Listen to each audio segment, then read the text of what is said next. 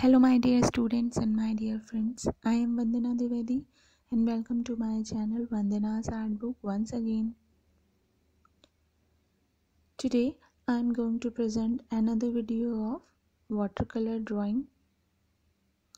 In this video, I am going to show you how can we easily make a beautiful and easy landscape. For this drawing tutorial, I am using Camel Student Watercolor Series, flat brush number 6, flat brush number 4, round brush number 2 and round brush number 0.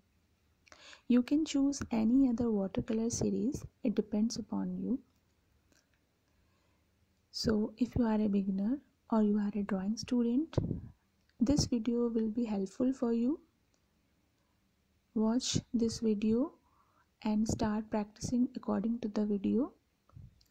And at the last if you like my drawing tutorial please subscribe my channel and hit the like button also and share this drawing tutorial with other students also.